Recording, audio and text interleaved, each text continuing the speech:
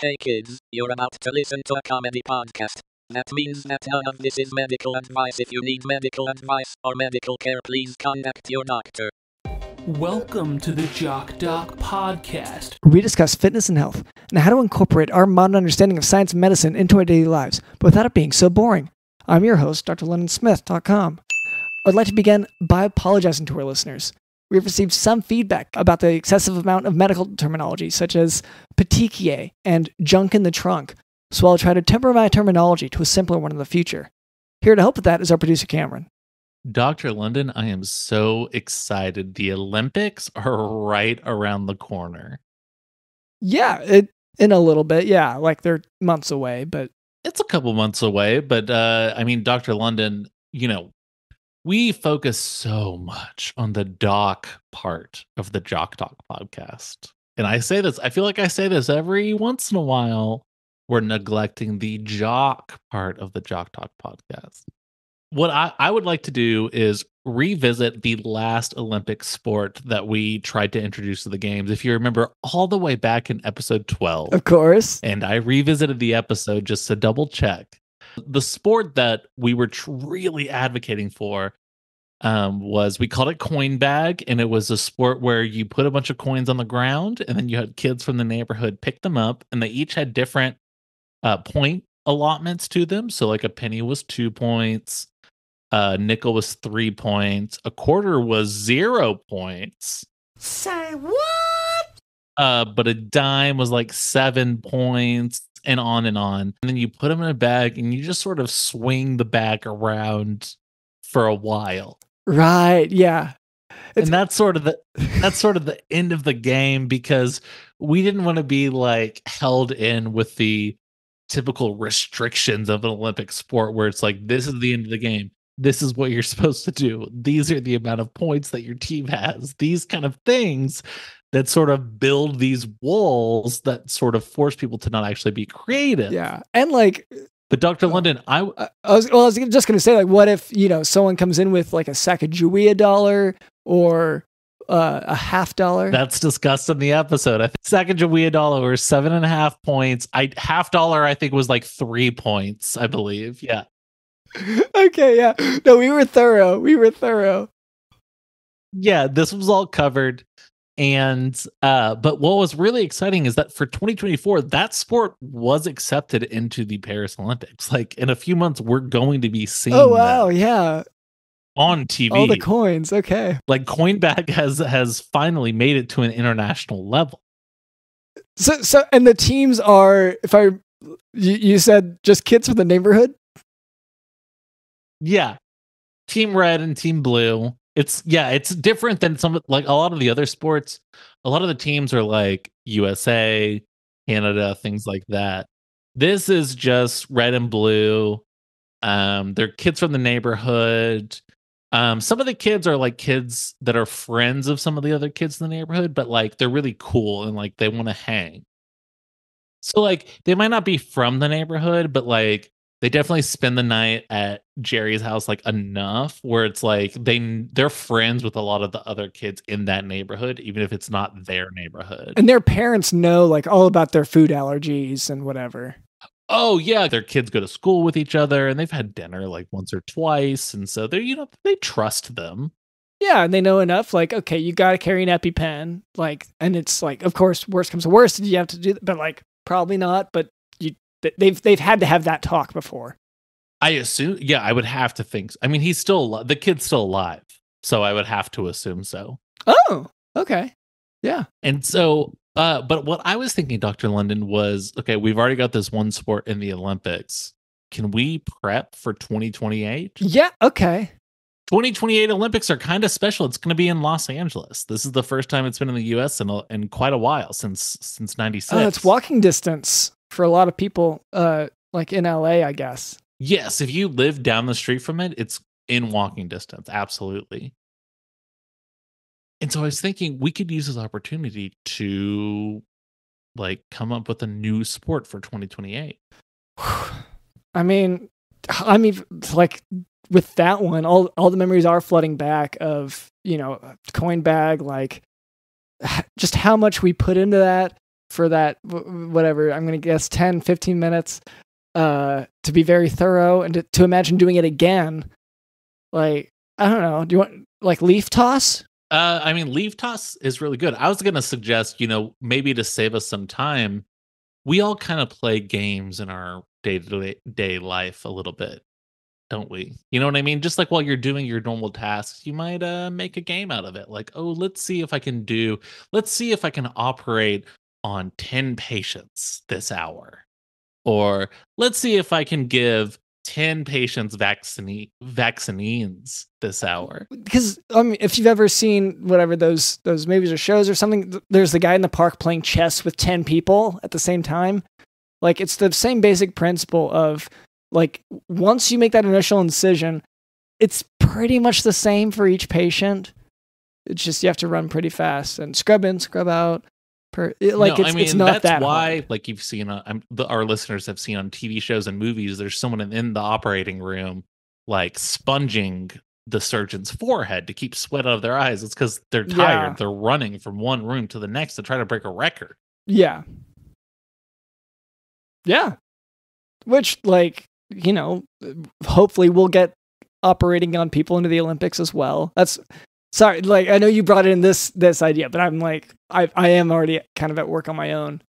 Um Well, sport. no, I mean that's kind of what I where I wanted to start was like we you know we don't have to spend so much time coming up with a new sport. Let's use the games that we already use and create in our day to day lives. So, w- what is a game that at the hospital you play, just in your own mind? Yeah.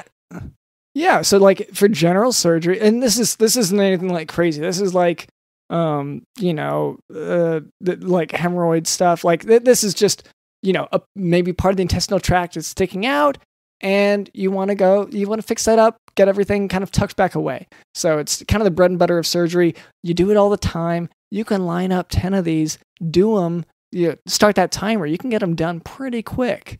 So um So, I mean, is that There- the whole game? Just speed surgery? Are there rules to it, or is it more like the most creative surgery? Or I think you should get points points if they live, for Sure. sure. Yeah. Um, if they die, I think it depends on how they die, because like like once again, creative. Uh, that is like if you do it in a really cool way, then like even the family's got to give it up. You know, like that was really really cool the way he went out the window. What you know, been there, done it, and uh, yeah, no, the family is not giving up anywhere near as much as I thought. Um, Well, because no one's getting a medal. They're, you're just doing it for no reason. If someone was getting a medal, Mhm, I'm sure they would mhm. feel different. This is what their Yeah. child trained for. yeah. Oh, please. So like, yeah. So I recognize that. Um, so that's that's one potential like sport idea. Uh, and then I, the washing hands part before the surgery as well. That one I I sing songs and stuff. Okay. while I'm scrubbing in. Um, and I imagine like how crazy would that be if I got a gold medal for doing it? Then I don't even have to do the surgery at all. So, so Okay. those are my two I feel like we my two games. We could combine these ideas, right? So like you're going to perform surgery without gloves. But before you have to wash your hands. And so the person who washed their hands the best will kill the least amount of patients. Whereas the doctors with the dirtiest hands will end up infecting their patients. So see, well, okay, yeah. I was I was gonna say like some people have a genetic advantage because some people's skin is more likely to slough off. Um, like they they will lose skin cells on the patient. Uh, and like sometimes you cut yourself and so you're bleeding on the patient and stuff. That's not an advantage that, that- would make them lose, probably. Yeah, well, I, I'm you just saying. don't Yeah, want I was to gonna infect say their like patients. You so you want to do the opposite of what you normally do. You don't want to give your patients an infection in this game. depend depending on what like what we ended up submitting f- finalized. Yeah, Y- Yeah, I guess we like can that's adjust that's the one rules. idea. Sure, sure. Yeah, I mean we, you're adjusting the rules right now. Like wh- whoever, like it doesn't matter. You do it and then you send them off to their family. They'll deal with it. So- I'm adjusting the rules of the hospital, which is just who cares if you wash your hands and then you just do it as fast as possible. Ten of them lined up, and then just hang out. the the the ten of them lined up isn't in the rules necessarily, but like sometimes like lunch is a coming. you It, know, It's like an unspoken rule. Yeah. yeah. Well, just like you're just in a hurry. You got to get a lot done. So, um, yeah, that that'd be the Olympics to me. Okay. I mean, I think this is kind of it. Do we? Do you have like a name for this game? Uh, ooh. So we call the operating room the OR. Yeah. So maybe something or, you know, like I mean, um, life or death. Okay. Yeah, yeah, yeah. That's that's fun. Life or death. And that that'll be easily that's that's good for SEO too cuz that's pretty original. That'll stand out. Um Oh yeah, and people are also googling life and death all the time. yeah. Oh, please. Yeah. So, uh yeah, okay. So I think we we got our entry for 2028. I'm excited to see uh coin bag for the um for for the ev- everyone look out for it, okay? Uh look for your favorite team. In Paris. yeah. Paris. Re- oh, oui, oui. I'm sorry, I, I'm not what uh, what are you saying? So in France, anytime they feel like they need to pee, Yeah. they go wee wee. And that lets you know, like, oh, they need to find a bathroom soon. And that's what I need to do right now. You So- announce it. Okay. And later, we have some important information to convey to you. But first, um, we'd like to address a bit of listener feedback. Uh, for a long time, our listener demographic was primarily composed of uncle and aunt eaters. But in our efforts to cater to them, we found that we were neglecting the many bot accounts that download our podcast. So we are going to read off just a little bit from some of our uh, spam bot uh, listeners. So this one comes from TikTok, a bot on TikTok. Uh, this is a comment on our response to, but is gooning the new meta. At G100M said, quote, not that meta crying emoji, end quote. So thank you so much for this feedback. But uh, I like to say that actually, yes, we are that meta. We're, we're like so so meta, big picture, and um, we recognize that we're it with it within a social media algorithm right now. Whoa! And yeah. I mean, what makes us really meta is, you know, like we're not just people, but we're people inside of a computer, inside of a TikTok app, inside of a podcast, inside of the dream of a giant, inside of a sort of multi conglomerate uh, corporation that is sort of paying us and controlling our TikToks and our podcast and, and everything. and that and to just take it one step back there, we are trying to kill the giant. Um, we are Oh, trying to be giant slayers. Uh, but we don't want to kill a corporation. We just the giant. So yeah i um, mean this is one of those things like it's it's a lot of the evidence is there. A lot of people talk about like simulation theory. Oh what if we what if we live in a simulation in a computer? And that's very silly to me. It's very clear that we live in the dream of a giant and that if we want to destroy the giant that should be pretty easy because dreams are real and if a dream convinces you to kill yourself you should do it. And this is something that we have been pushing a lot just into the public sphere so that the giant will hear about it, realize it's okay for me to eliminate myself. Yeah, and sorry to clarify there. This isn't a tip for the listeners. This is a tip for the giant. Okay. Yeah, or I mean, just sort of explaining what we're doing to the giant to the listeners. I would say if you're a listener and you can, I mean, if you're a listener to this, you are also in the giant's dream because that's the level that we're currently on. So I would say do what you can to encourage the giant to commit suicide. Um, maybe just stomp on the ground a lot because that would be part of the giant's brain is the ground and maybe that'll give him a headache. I, I don't know. We're out of ideas at this point. Yeah.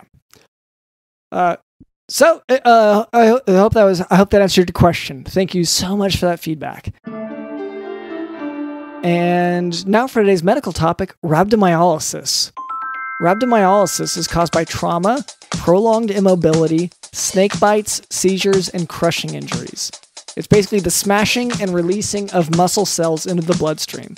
Uh, other etiologies include cocaine, which restricts vessels, low potassium, which also restricts vessels, low phosphate, which breaks cells, uh, statins, that's a prescription medication, and viral infections. These can all lead to rhabdomyolysis. Um, in rhabdomyolysis, uh, creatine phosphatase levels, uh, sorry, creatine phosphokinase levels are markedly elevated, and myoglobin spills into the urine.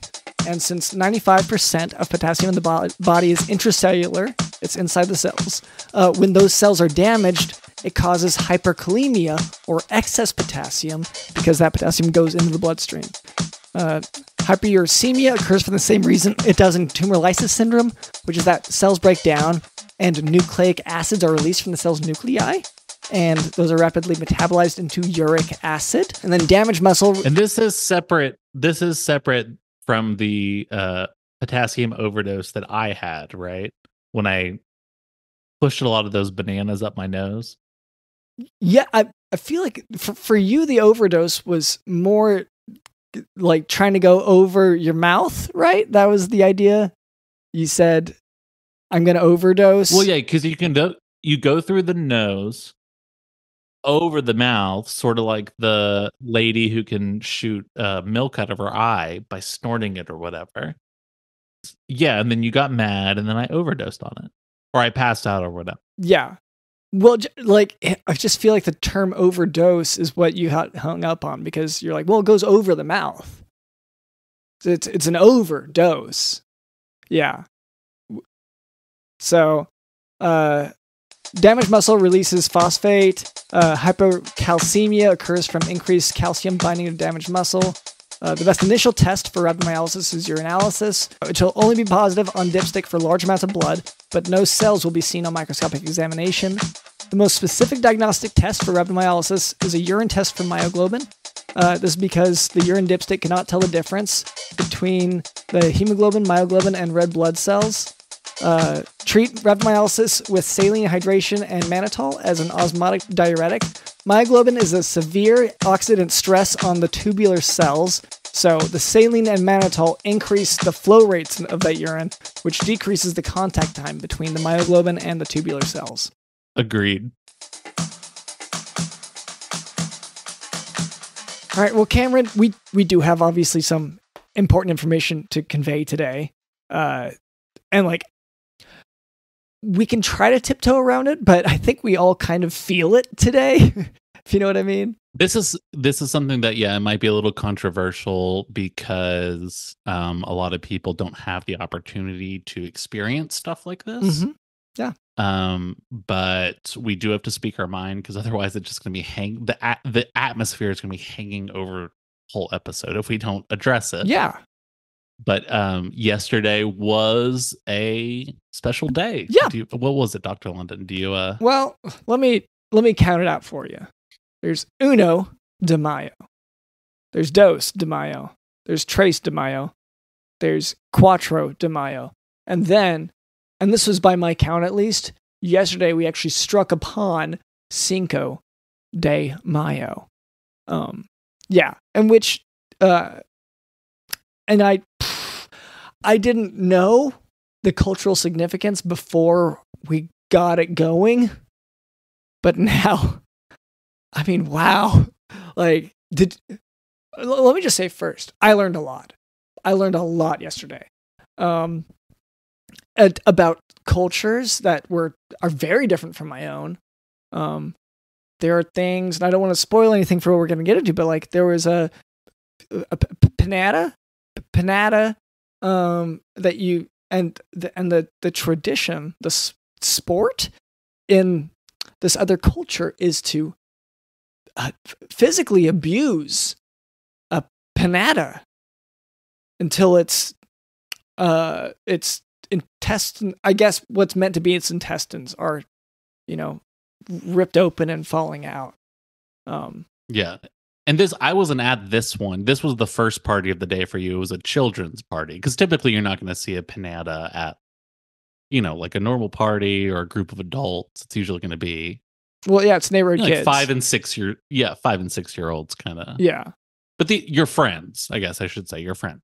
Yeah, just like age is just a number. Um, I guess is one point to make here. Uh, No, I mean that is what your shirt said. I saw the pictures at the party. Um, yeah, and uh, and I, yep. I'll say like, and even they they tried to make me wear a blindfold, but I told them like, well, I can't aim very well. Well, sorry, they, first they they said blindfold, and then I hit so many children in my attempts to hit that pinata that eventually they said, okay, never mind, just. Uh, and I- but then I was like, well, I, I could do it with the blindfold. Just give me a, give me a few more swings. But um, like just the amount of of uh misses that I had, which yeah, no, they were misses. They were misses, but uh, there were enough of them that, um, yeah, that I I went without a blindfold, and it was way easier to hit the pinata. And I, I don't want to brag here, Dr. London. And look, it's been a while. It's been a few months since I've been at a child's birthday party. But when I've hit a pinata, I don't even need the blindfold. Oh, Like, like, I don't even need it at all. You can I tackle do it? without it. Yeah. do you do you use the knife or the bat? Uh, no, I use my brute force. wow. Okay, okay. Uh, and my mind. is that like like you play chess with it? Uh, metaphorically, I guess I'm playing chess in my mind to make the decision to obliterate the pinata. with a with a bat. No, with my brute force. Okay. Yes. Okay. Okay. Uh, right. And so I'm sorry, we are kind of skirting around it, but we are talking. yeah, let's get back to it. We are talking about Cinco de Mayo, and we're talking about parties. Doctor London, and I, Doctor London, and I held a rager last night. We held a hell of a party. Yeah. The mayor was there. Mhm. Uh, His two friends. there? His friends were there. His mom was there. Her and her Um, book club. The whole group made it. Um. Her book club made it. Except Some for- were a couple late, but they called and told us, "Hey, we're going to be a few minutes late." And that was awesome. We asked them to bring the ice, and they said no. No, we yeah, we didn't that. have any eyes. Uh, let's see who John Stamos was there. Yeah, but he honestly, he was kind of a drag. He um, and he and I kind of have a, a feud going, but um, basically he's he we both have the same tradition of we'll walk in when the party's kind of going and there are a lot of people there, and he and I separately will both say this, but it kind of just depends who gets to it first. I'll say, now this is a full house, oh wow, yeah. and then he'll do the And same. No one, yeah, and no one has any idea what you're talking about. Well, they have they have a they're like, yeah, I guess it is pretty full in here. Uh Or people are like, "Oh, is someone playing poke? Like, is this a pun on a poker game that's going on that I don't see?" yeah, yeah. Um yeah, so so Stamos and I have have a lot of beef for this And reason. so then he comes in a few minutes later, says it. Everyone understands the joke, and and, laughs at his thing. And you get really sort of pissed off. And then I and then he becomes the pinata. I leave for a while. Um and I try to get like two or three more people to show up because then I want to walk back in and say, "Now this is a fuller house." Oh wow! Uh, yeah, but it's- I could not get the other people to show up. I was about to say, have you ever been able to do that? Because the idea of you leaving and then uh, uh, coming back with additional people sounds kind of far fetched. That you'd be able to find someone willing to go with you anywhere, just to get in the car with you. Actually, Yeah, no, I tried to pay some people, but no, they were like, money is not the reason. Yeah, but anyways, yeah. So Stamos was there. Um, we had uh, Kathy. She's uh she's a pie maker from across town. Um, now it's the bad side of town, which we don't like to say bad side of town, but Kathy is bad. So her side of town obviously is the bad side of town. Um, so she brought her butterscotch pie. bad has a lot of connotations. I do want to say she doesn't like. She doesn't hurt people or whatever. She just sucks. Yeah. Oh, boring. She'll talk so much about crochet and like, hey, everyone loves crochet. I'm not dissing that, but like, she'll talk about it in terms of like the theory and the history in a way that sounds very uh, privileged.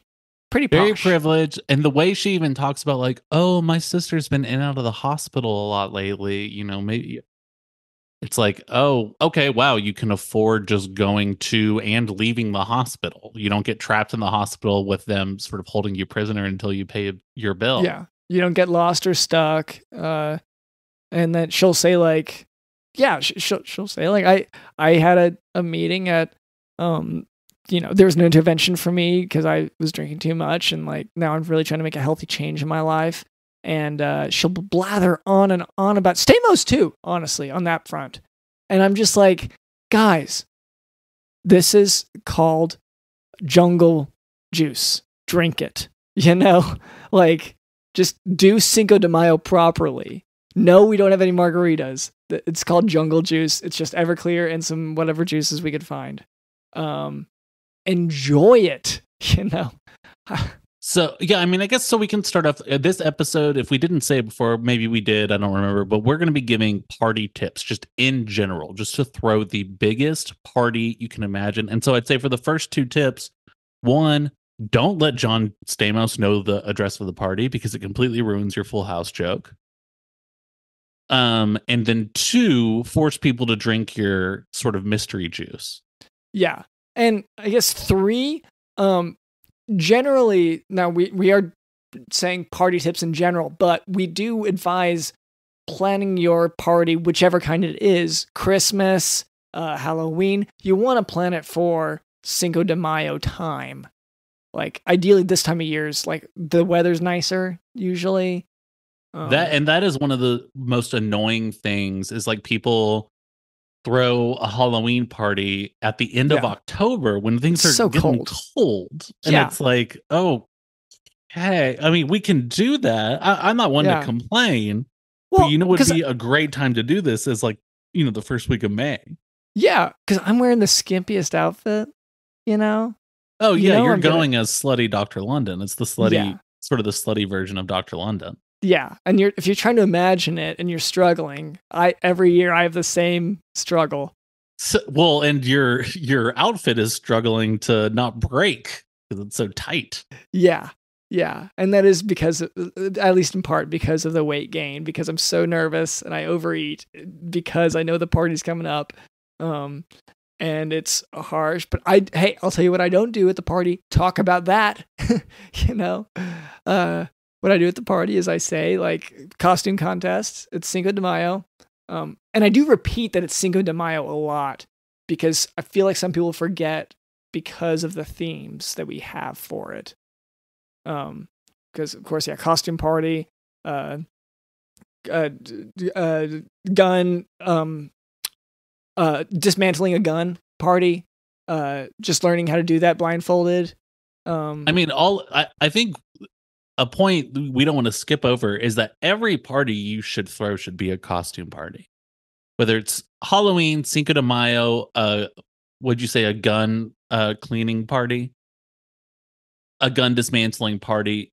So everyone should be in a costume, preferably a mascot style costume, um, a furry style costume, something that ensures that no one at the party knows who you are. That adds an air of mystery that is really important. Well, and also so that if the party goes kind of crazy and you find yourself, you know, you wake up the next day somewhere in the woods, you will seem like a larger animal. Um, because that's sort of what Cameron and I went through today is we woke up in various parts of the, the, the woods and we had to find our way back and it really really helped that my sexy doctor costume was uh the mascot style um like very furry uh very big i you know i had this giant head on my head you know like a helmet Right, you were you were wearing. Uh, yeah, I guess maybe we didn't clarify. The sexy Doctor London costume wasn't like just you wearing a bikini. It was a it was a mascot. It was you were wearing a suit of yourself, yeah yeah which as i said dressed up gained- like a huge slut. just bursting at the seams because of the weight gain. Yeah. So, um, yeah. So I woke up like that, and I tell you, if I had now, I didn't run into any animals, but like if I had, I would have been able to look like so much bigger than I normally do to scare them. So that's why that's why you dress up costume party style because what if the next day you woke up and there was a, a mountain lion, you know?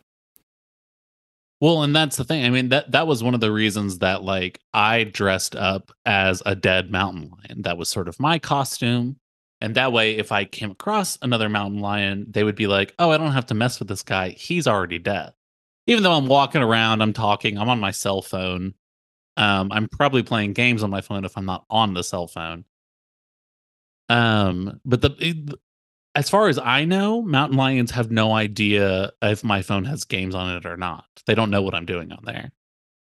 Mm, I'm yeah, I'm not sure. I, I like I I'm just not like I I haven't studied mountain lions to the extent that I probably should have for for the party.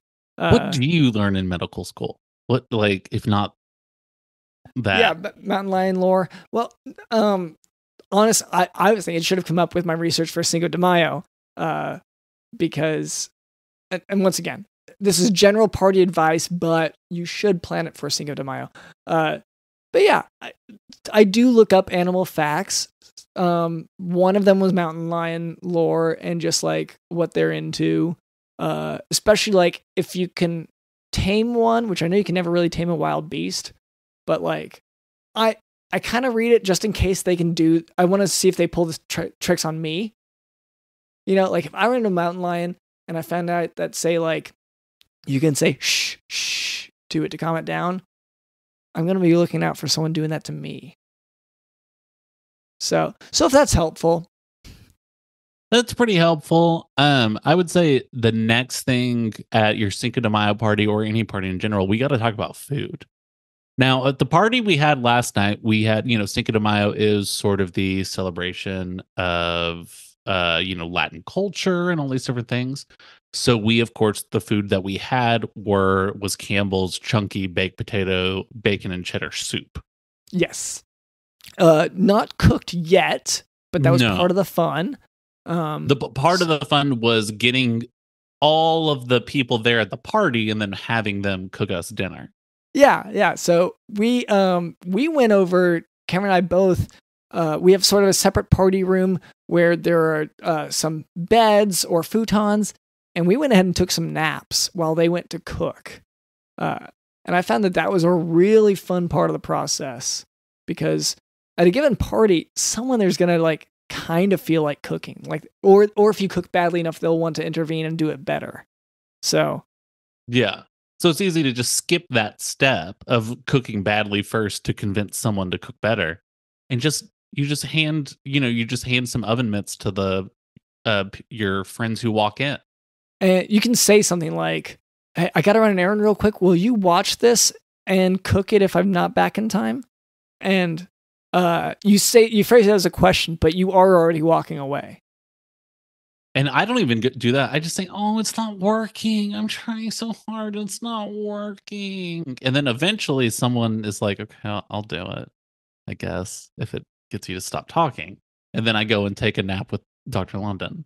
And we say with we have a bunk room. Okay, it's a lot of bunk beds and futon style bunk beds, and uh, we we take a nap. See, and sometimes we put on music. Uh, oh, so, that brings us to party music. Okay, Oh, Yeah. party music. Yes. So your party music for the nap room, you want to have some some uh, soft lullabies, okay?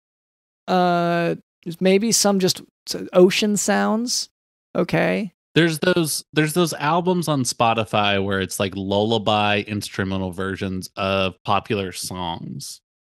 And so I would say like the lullaby version of that song that goes day bow bow bow day bow bow is uh sort of an essential party song, I would say, especially in the nap room. For the nap room, yeah. Well, yeah, no, that is a good Um, point. Any room can have it, but I'd say the nap room is where it's going to shine. I was going to say, generally speaking, I, I think one of the biggest mistakes people make when DJing is they play the music they want to hear. But no, you need to play the music that the most people in the room are going to recognize and enjoy. And so the the best way, because some people listen to country, some people listen to hip hop, some people listen to rock. Every single person in that room knows wheels on the bus go round and round. I guarantee it. I guarantee it. No matter the age, no matter ethnicity or what part of the world they come from or anything like that. Um, you know, uh, Itsy Bitsy Spider. These are universally known and beloved songs. And uh and so you'll have yeah, that's for the main main party room. I want to emphasize because like those are kind of exciting songs. And you don't want to disturb your sleep um with a nap room. Yes. Well, especially once you you definitely want to like um you know tr- the the order of the track list on your playlist is very very important. And by the time you get to there was an old woman who lived in a shoe, your party, I mean, I'm going to be honest, people are going to be like screwing in the back, like people are going to be like breaking things, like it's going to go insane. Well, it's a rager. It is a rager. Um, and that I guess that brings us to the next part, which is how fast to call the cops on your own party. Um, I first two minutes usually, I think is whenever I call them to complain about the noise of complaint that I know will come. Uh, because if you're the first to call yourself out for being too loud, you're gonna get to enjoy your nap time. Like once the cops come over, make everyone leave, you just get to keep sleeping. So, um, and ideally, the the guests will have time to finish making the food, and then they'll leave, and then you wake up from your nap a few hours later, and you get to eat your food. Yeah, and then I mean, prepare for the next party to begin. It doesn't end with you. Yeah, yeah. Uh, and that's whenever you go. Um, well, okay, I guess we should say here. Um, uh, there will be an interruption to your party. There always is. This always happens. You will have springtime carolers come along, and these are the people who, yeah, you forgot they they forgot to do it around like Christmas time. So to deal with them, uh, once again, you will call and so so law enforcement does have some kind of a it can have sort of a shady thing. Like they can get people in trouble you don't really want to get in trouble. But like sometimes the situation just calls for it. You you have to call law enforcement. These carolers need to be returned to their homes. Um and and they need to learn more songs because like all they do is like one type of song like it's just christmas songs well and uh, there's something i mean one thing to keep in mind is that legally uh when a caroler comes to your house, they are your legal responsibility until they go to the next house. So if they're the last house that they went to before trouble happened, or CPS comes and ships them away or whatever, you're being held responsible. Uh, which is why. So so normally I say the the call law enforcement. You want to do that ahead of time so that they're already there to stop them. Um, but the the occasion could come up that you have to get rid of some caroler bodies. And so that's the next part of the party. That's when the party really gets going. Yeah, so the party really doesn't start until the first person dies um, and is buried. Um, now this sort of becomes tricky because you don't want to just start digging up outside because your neighbors are gonna. There's so many bodies there already, and your neighbors are starting to question, like, why are there so many just like you know bumps in the in this guy's backyard and so you want to start burying in the house like in your house. Just start grab a shovel and start digging. Yeah.